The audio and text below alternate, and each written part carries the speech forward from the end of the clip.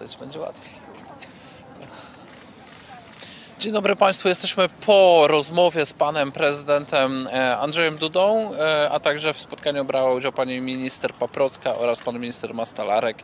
E, Rozmawialiśmy o, o przygotowaniu poprawek do konstytucji, które zakończą chaos w państwie, które zakończą wzajemne negowanie składów naczelnych ciał konstytucyjnych, takich jak Trybunał Konstytucyjny, Sąd Najwyższy, Krajowa Rada Sądownictwa. Przypomnijmy, że Konfederacja proponuje reset konstytucyjny, a więc e, w drodze kompromisu przyjęcie e, poprawek do konstytucji, które uprzednio muszą zostać uzgodnione e, większością konstytucyjną przegłosowanie tych poprawek, które by wyłaniały nowe, nie, niepartyjne składy e, tych najważniejszych ciał e, oraz e, które pozwalałyby zakończyć ten spór i przywrócić uznawanie konstytucyjne e, Trybunału Konstytucyjnego, Sądu Najwyższego i Krajowej Rady Sądownictwa przez wszystkie siły polityczne.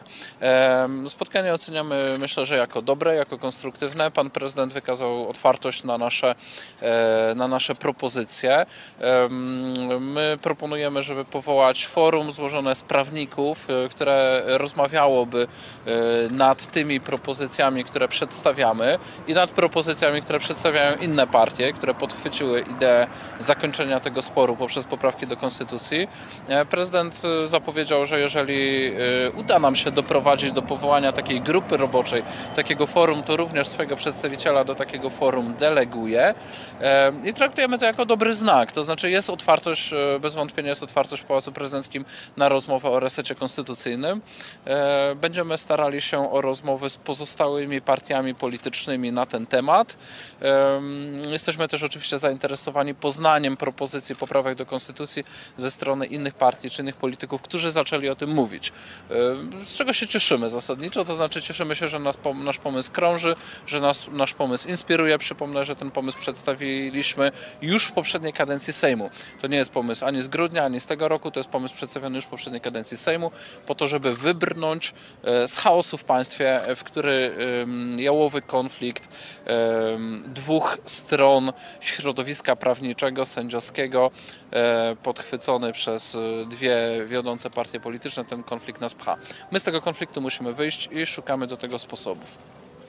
Ja może dodam, że już 8 lat temu pojawiały się pomysły resetu konstytucyjnego, bo była poprawka, którą ja składałem w 2016 roku i te nasze środowiska wolnościowe, konserwatywne, narodowe mówią o tym już konsekwentnie od wielu lat i bardzo mnie cieszy, że pan prezydent dzisiaj się z nami zgodził, że do tego resetu konstytucyjnego prędzej czy później dojść powinno. Cieszymy się bardzo, że y, zgodził się na delegowanie e, ekspertów do grupy roboczej, jeśli uda się ją powołać. I teraz e, em, stajemy w takiej sytuacji, że no mówiąc wprost tak, obawiamy się, żeby nie, żebyśmy nie mieli do czynienia z działaniami markowanymi, pozorowanymi ze strony innych e, sił politycznych. Bardzo nam zależy na tym, żeby rzeczywiście pojawiła się wola osiągnięcia kompromisu, kompromisu na poziomie konstytucyjnym i żeby e, niekoniecznie w obecności kamer zacząć otwarcie na ten temat e, rozmawiać. To jest, e, Szanowni Państwo, bardzo poważna sprawa, dlatego że my jesteśmy na tym etapie naszej państwowości, gdzie mamy bardzo poważne wyzwania międzynarodowe przed nami i powinniśmy rozwiązać e, te bardzo poważne problemy z polskim wymiarem sprawiedliwości, żeby być państwem po prostu bardziej sprawnym i sprawniej rozwiązywać e, te, stawać wobec tych, tych wyzwań, które, no, e, które są oczywiste i coraz bardziej pilne. Także no, wydaje mi się, że to jest dzisiaj dobry pierwszy krok. Cieszymy się, że, że ten pomysł resetu konstytucyjnego rezonuje i będziemy się starać go dalej rozwijać. Czy są jakieś pytania? Tak, ja bym chciał zapytać właśnie o wypowiedź ministra Mastalerka, bo dzisiaj w wywiadzie radiowym powiedział, że raczej e, ten pomysł nie wejdzie w życie. No i właśnie jakoś się odnosił dzisiaj podczas tego rozmów, bo był obecny e, z panami. Ale jaki pomysł? No właśnie a, a propos tego resetu konstytucyjnego, że to nie wejdzie w życie przy obecnej sytuacji politycznej. Panie redaktorze, wszystkim nam towarzyszy sceptycyzm wynikający z tego, co oglądamy. Oglądamy dwie e, partie mające mm, duże poparcie społeczne, PiS i Platformę, zaklinczowane od wielu lat w jałowym sporze polityczno-personalnym, e, gdzie pewne e, środowiskowe porachunki można odnieść wrażenie, że są wyrównywane obecnie na podstawie różnic jeszcze z lat 80., a e, obywatele 40-milionowego państwa i cały jego system instytucjonalny stali się zakładnikami tego sporu. E, oczywiście doprowadzenie do porozumienia tak skonfliktowanych stron wydaje się prawdziwym cudem, wydaje się wyzwaniem niezwykle trudnym. E, natomiast my się trudnych wyzwań nie boimy. Jeżeli nie dojdzie do tego porozumienia w tej kadencji Sejmu, to być może w następnej, jak nie to jeszcze w kolejnej. Musimy tą dyskusję szczerze, uczciwie przeprowadzić.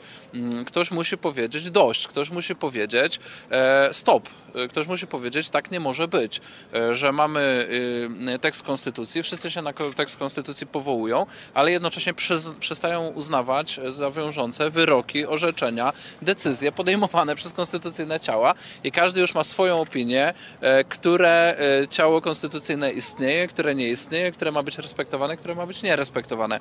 My znamy ten stan z historii Polski. Ten stan nazywa się anarchią. Ten stan nazywa się swawolą.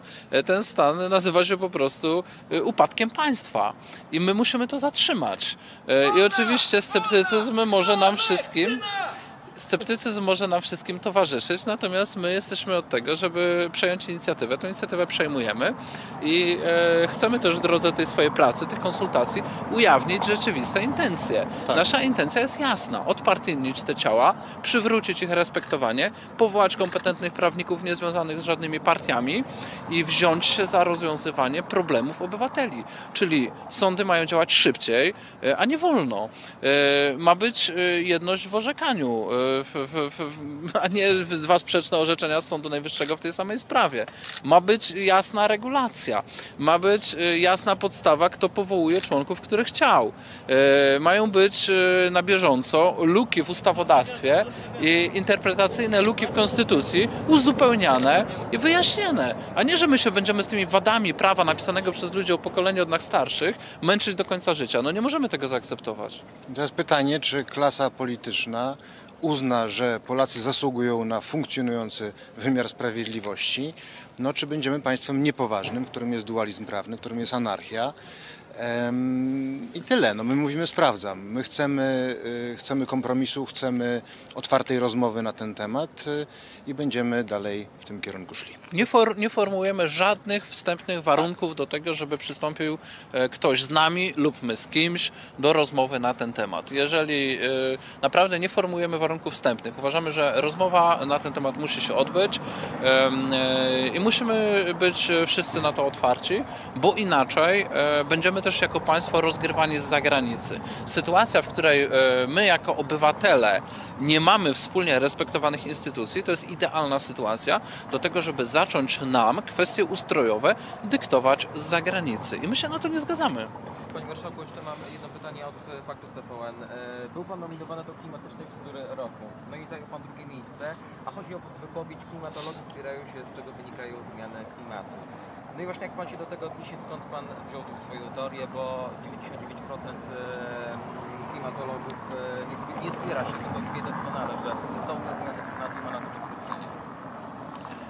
Yy, Panie redaktorze, yy, proszę mnie pan o komentowanie jakiegoś konkursu, którego nie znam. Yy, Oczywiście każdy ma prawo przeprowadzić swój konkurs i sobie yy, w tym konkursie wyłaniać dowolne nagrody i wyróżnienia.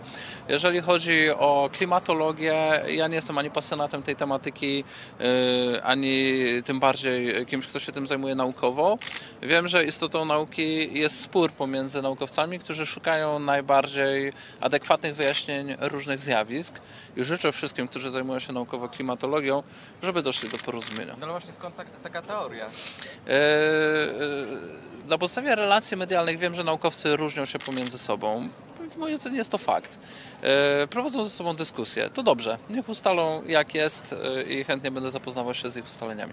Czy są jeszcze jakieś inne pytania? Tak, to jeszcze w temacie tego spotkania chciałbym zapytać, e, kiedy konkretnie, do kogo w pierwszej kolejności chcecie się zwrócić z tą propozycją resetu konstytucyjnego, z kim te pierwsze rozmowy i jeszcze nawiążę do tego, co powiedzieliście panowie jeszcze przed tym spotkaniem, czyli że są takie pozytywne sygnały ze strony innych sił politycznych, może tak właśnie konkretnie kto jest, patrzy takim przychylnym okiem na te wasze pomysły, czy są też takie e, głosy gdzieś wśród polityków obozu władzy, z którymi się spotkaliście, jeżeli chodzi o taki reset konstytucyjny? E, Będziemy się zwracać do wszystkich partii politycznych i zobaczymy, jakie będą reakcje na propozycję spotkania. E, Jeżeli chodzi o głosy, no to one są publicznie znane. Minister Władysław Kosiniak-Kamysz, e, wicepremier Władysław Kosiniak-Kamysz wypowiadał się w tonie pozytywnym, jeżeli chodzi o koncepcję przedstawienia poprawek do Konstytucji i kończenia w ten sposób sporu o sądownictwo. Widziałem, zdaje się, pozytywną wypowiedź ministra Gawkowskiego w tej sprawie.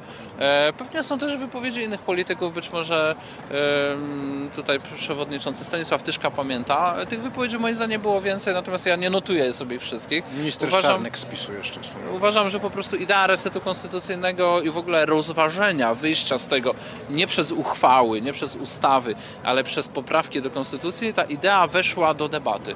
To jest nasz mały sukces polityczny. Teraz trzeba posunąć to o krok dalej i konkretyzować, kto jest gotów na co się zgodzić. My swoich nominatów nie mamy ani w TK, ani w SN, ani w KRS.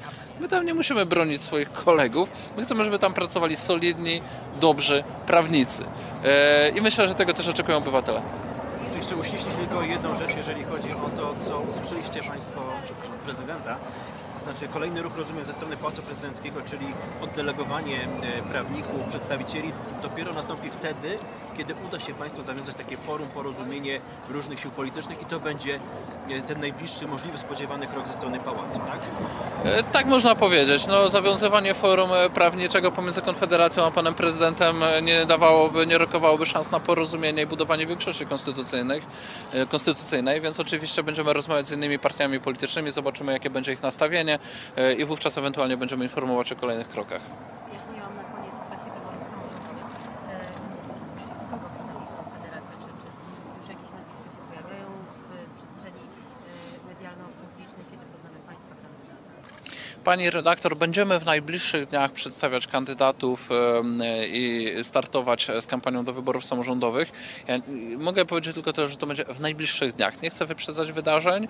E, oczywiście wystawimy kandydatów do sejmików wojewódzkich w całym kraju z listy ogólnopolskiej jako Komitet Ogólnopolski na poziomie miast, na poziomie powiatów, gmin. Będziemy zawierać e, lokalne koalicje lub startować jako Konfederacja. Jestem pewien, że w tych wyborach samorządowych wprowadzimy radnych na wszystkie trzy szczeble. Oczywiście nikt nie wie ilu, bo to wyborcy decydują. Natomiast logika wyborów samorządowych jest taka, że czasem nawet jeden radny może decydować później o większości. Więc e, liczę też na to, że wprowadzenie radni pozwolą nam współrządzić co najmniej w niektórych gminach, w niektórych powiatach, w niektórych województwach. A jeśli chodzi o hotel prezydenta miasta stołecznego Warszawy, też będzie Państwa kandydat? Jest możliwe, że Konfederacja przedstawi swojego kandydata i przedstawimy go na osobnej konferencji prasowej. Dziękuję bardzo. Dziękuję bardzo.